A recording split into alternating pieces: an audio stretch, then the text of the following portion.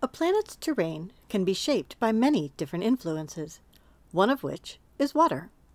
There are many well known places on Earth that have been shaped by water, such as the Grand Canyon or the Mississippi River Delta. You can test for yourself how water erosion can shape terrain by experimenting with a homemade stream table.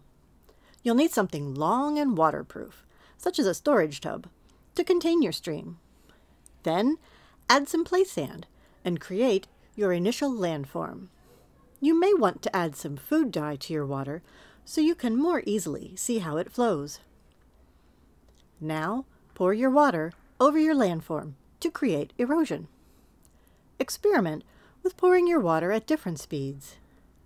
Also, experiment with a more complex landscape by adding pebbles, vegetation, or other items to see if they affect the outcome. Add some gravel to see if you can protect the landform during a flood.